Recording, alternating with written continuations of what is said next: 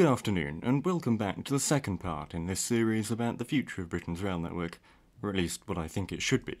Today, we'll be looking at passenger sectors and the different types of services that our new railway operator should run. My general, if unimaginative idea is to split British Railways into two sectors regional and intercity.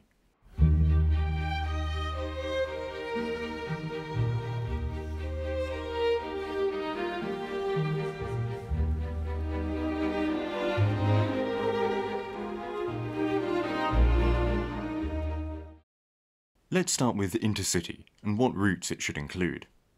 To be completely honest, I'm rather satisfied with the 1993 intercity route map from just before privatisation. However, I would certainly exclude the Gatwick Express. It's its own thing, and whatever it is, it definitely isn't intercity. London to Norwich should possibly also be removed, but that's a big possibly. And if it's staying, I do think that London to Cambridge and London to Weymouth and Portsmouth should be added as well. The services that are now TransPennine Express also must come under Intercity. Essentially, Intercity should be nationwide rather than just a London radial operation. As part of this, the cross-country routes need to be fully elevated to proper intercity status. They've always felt a little bit like the unwanted child, and this must change. The cross-country routes should be electrified from Exeter at the very least all the way up to Leeds, Additionally, the signalling systems ought to be replaced with European Train Control System, the modern and technologically advanced European standard. It would allow the line speed to be raised to 140 miles an hour, delivering significant journey time improvements with relatively little cost. I would actually propose, though, only timing trains for 125 mile an hour operation.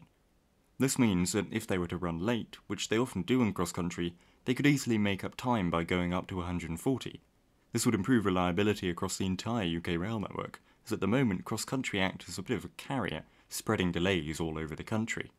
To run these new electric services, a fleet of bimode trains should be procured, and don't make the same mistake that was made with the Voyagers.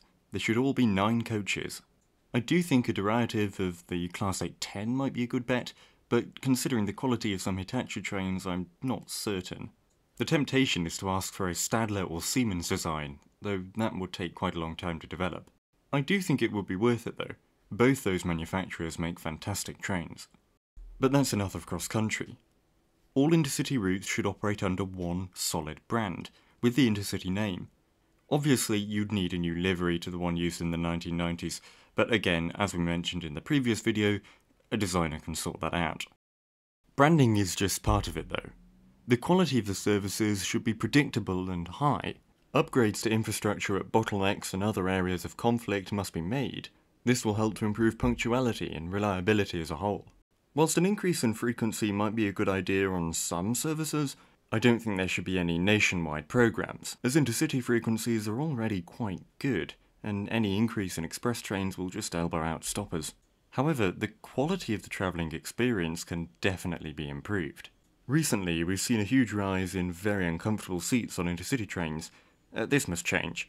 If it means refurbishing fleets, well, so be it, but we cannot continue to have this poor level of comfort on long distance services. Quiet coaches should become, well, quieter as well.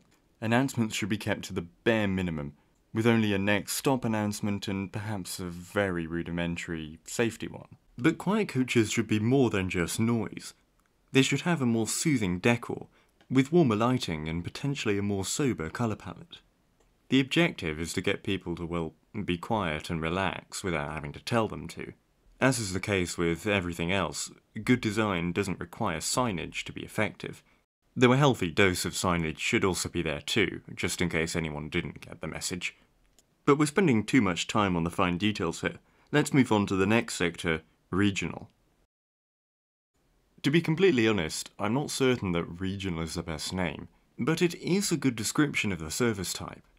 The thinking behind regional is that it should operate as a link between communities. This is things such as lower profile stopping services along main lines, semi fast regional express services, and trains on rural or secondary lines.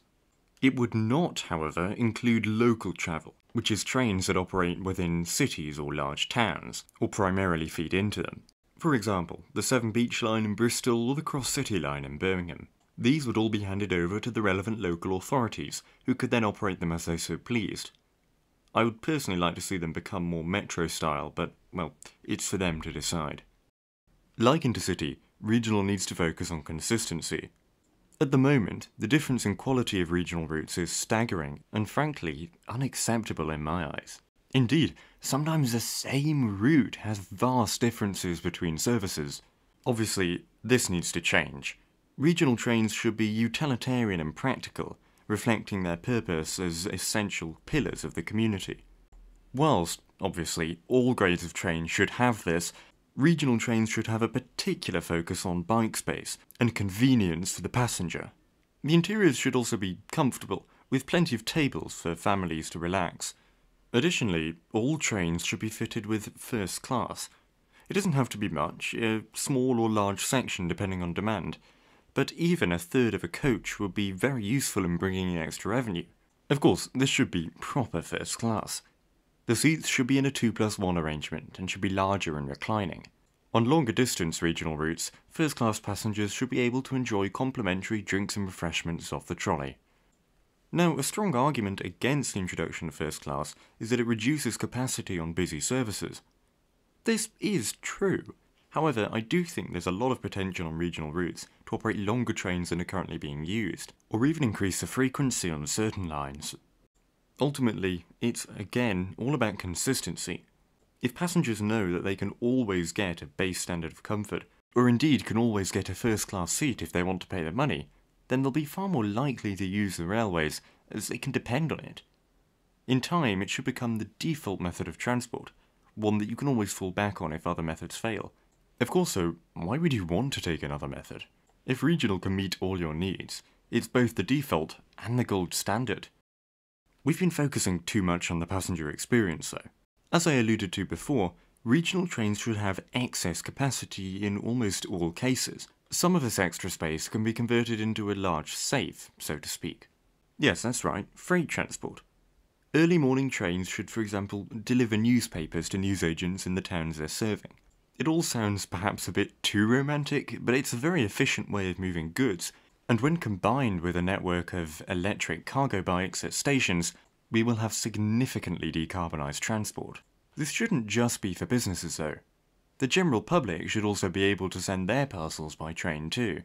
They should be able to drop one off at a station and have it collected at another a few hours later, with a member of staff transferring the parcel between trains if a change is required. And this will essentially create a fast travel network of physical goods around the UK, which would be very beneficial for businesses and individuals alike. This isn't just wishful thinking either. As recently as 2001, the Red Star parcel scheme enabled parcels to be transmitted by passenger train between selected stations. It was enormously successful. However, following privatisation in the 1990s, the network became too fragmented to operate it properly, and thus it quickly disappeared. Under our new nationalised operator, though, it would be far easier to reinstate such a service. So, those are some of my views on the potential sectors of intercity and regional. Do leave your own ideas and suggestions in the comments section down below, and if you want to have a more detailed conversation, feel free to join my Discord server. There's a link in the description. Anyway, thank you very much for watching, I hope you enjoyed and I hope you found this useful. Either way, I'll see you next time, and goodbye. Thank you.